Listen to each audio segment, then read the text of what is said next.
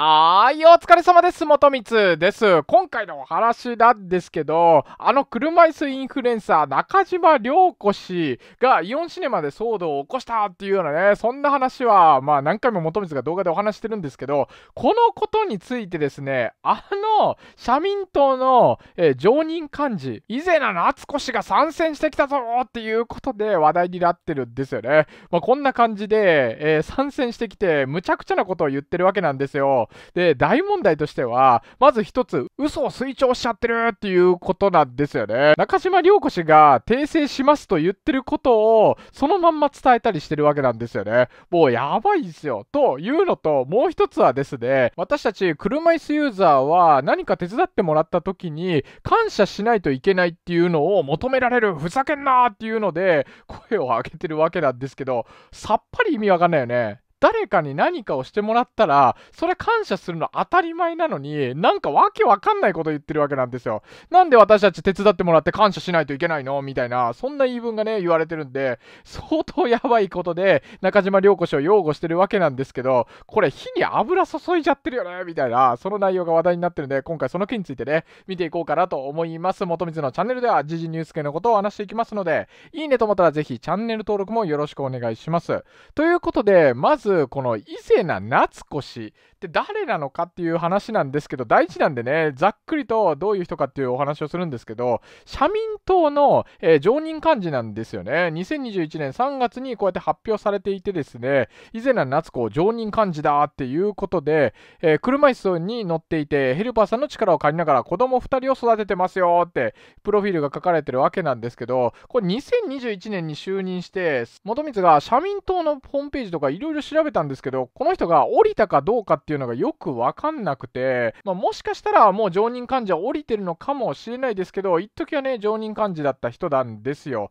まあ、この人は、ここにも書いてる通り、車椅子だとか障害があると生きづらいんだっていうのを声を上げたりしてるというような人なんですけど、特に有名なのがこちらですよね。JR での乗車拒否騒動っていうのがあってですね、JR で車椅子ユーザー乗車拒否に遭いましたっていうことで、この伊勢名夏子氏がツイートしてて、階段しかない駅なので、案内はできないと。今の時代でも悲しいかな。よくあること。バリアフリーって全然進んでない。むしろ無人駅が増え、え、後退してる。味方が必要なので長いですが、どうか読んでください。シェアしてください。っていうことで乗車拒否されたって言ってってて、で、まあ、こんな感じでね、駅員さんに電動車椅子めっちゃ重いんですけど、それごと運んでもらってる階段を、そういう写真を晒した上で乗車拒否に会いましたって言ってるんですけど、ただ事実全然違うんですよ。まあ、ここ写真に運んでもらってるところとか見る限り、乗車拒否されてなくねって感じは、もうこれでも伝わってくるんですけど、こちらの記事で、まあ、はっきりと問題点がね、説明されてたんで、分かりやすかったので、ちょっと見ていこうと思います。炎上したブログの内容とはということで、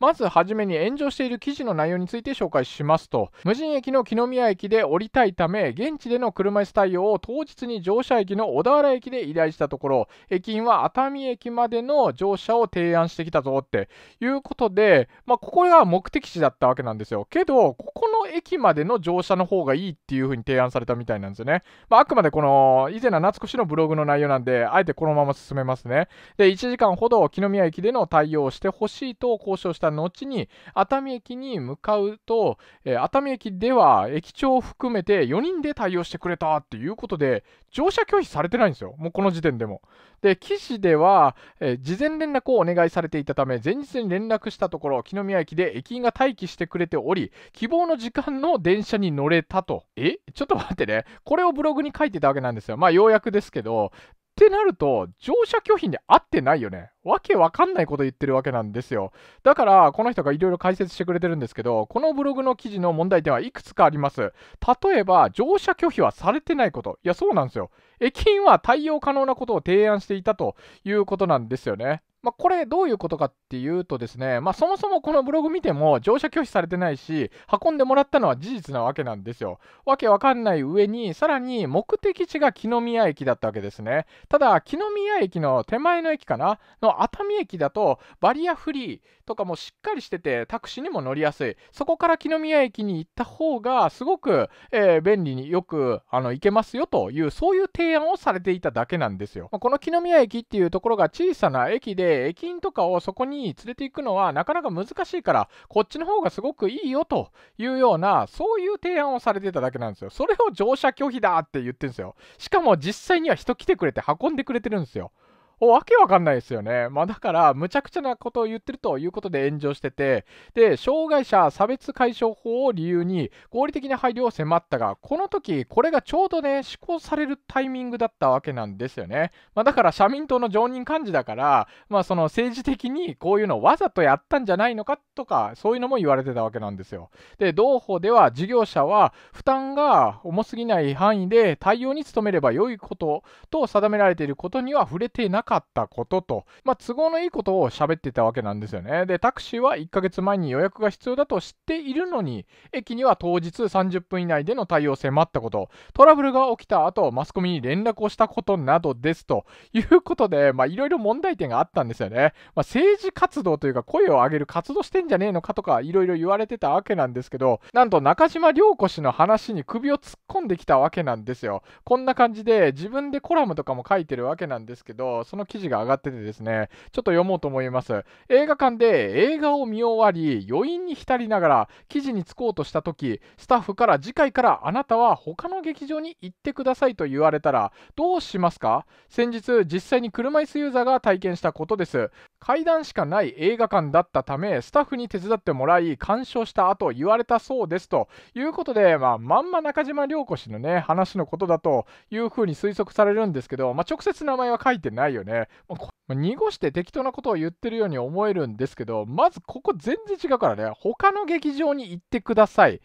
じゃないっていうのは、その本人の中島涼子氏が実際に報告でね、えー、ご報告というところで話してるんですよ。もともとも何回も動画で喋ってますけど、えー、グランシアター以外の劇場という意味なので、映画館自体に来ないでくださいという対応ではなかったと、それを訂正してるわけなんですよね。で、それをまんま、訂正前の話、嘘を推聴しちゃってるわけなんですよね。そして、階段しかない映画館だったためとかまで言ってるわけなんですよ。いや、全然違うじゃん。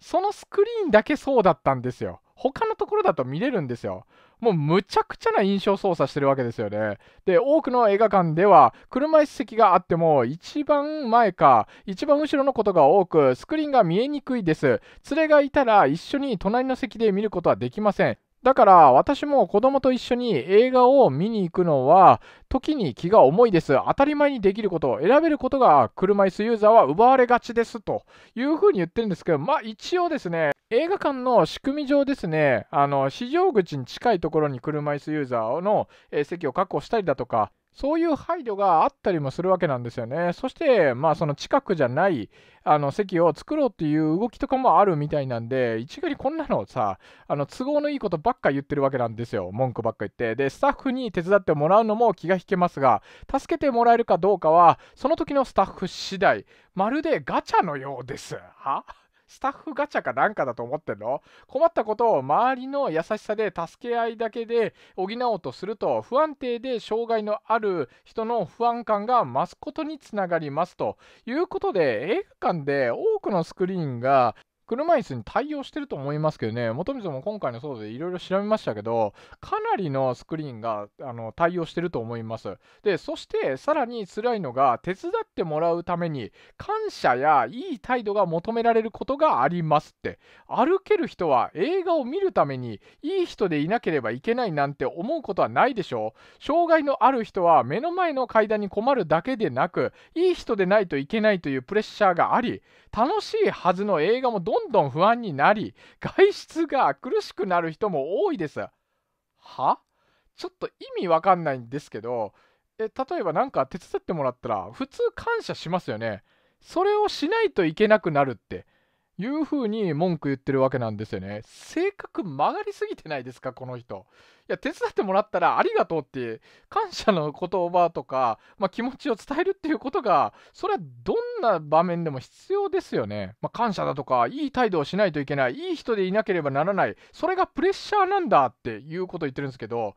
いや、わけわかんない。それは車椅子の方かどうかとか関係ないですし、多分多くの、えー、ちゃんとした車椅子ユーザーの方は、普通に別にそんなのプレッシャーだとは思ってないと思いますよ。車椅子ユーザーだろうが、車椅子ユーザーじゃなかろうが、それは誰かに何かしてもらったらありがとうございます。ただそれだけの話じゃないですか。なんこれ何言ってるのかさっぱりわかんなくて、なんで私たちは手伝ってもらって感謝しないといけねえんだよ、みたいなことを言ってるわけですよね。で、えー、制度やハード面の環境整備は大切ですということで、各、今、イオンシネマの話もそうですけど、それぞれの、あのー、設備もどんどん良くなっていってるわけなんですよ。まあ、それ大切なのはわかるよ。で、今月から障害者差別消去法が改正になり、障害のある人がない人と同じように生活するための変更、調整である合理的配慮が全ての事業所で義務付けられます。完璧に環境を整える必要はありません。まずは何ができるのか話し合いをしましょ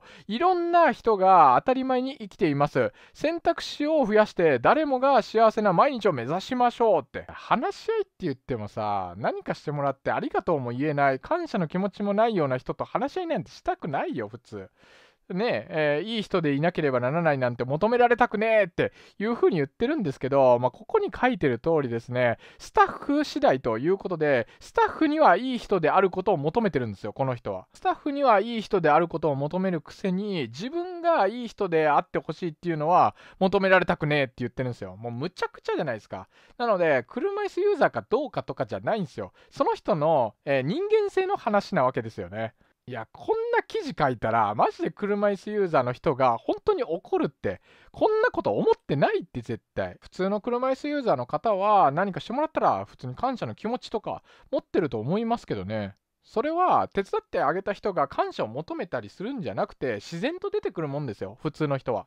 まあ、車椅子ユーザーの人たちが悪く見られるようなことを拡散しちゃってるわけなんですよ。ふざけんなとしか言いようがないよね。そして、またね、あの中島良子氏の話、まあ、直接名前は出してないですけど、もうほとんどの条件がね、一緒なんで、もうその話をしてるんだとしたら、もうマジで嘘ばっか喋ってるわけなんですよ。階段しかない映画館があって、で、他の劇場に行ってくれと、入館拒否をされたという風なね、そんな話に盛りまくってるわけなんですよ。まあ、この人に擁護されると逆に劣勢になると元光は思いますけどね、実際にさ、以前は夏子氏、自分でもこう昔言ってたんですよ。あの、さっきのね、JR 騒動の時に、ネット上でのアンケート、私を支持するかしないかに4万件の回答があり、97%が支持しませんでした。悲しい限りですが、でもどんな方法だったら声を上げてもいいのでしょうかっていうことで、なんか言ってたんですよね。もう全然支持されてないんですよ、この人の言い分って。まあ、こういう人がくっつけばくっつくほど中島良子氏っていうのは、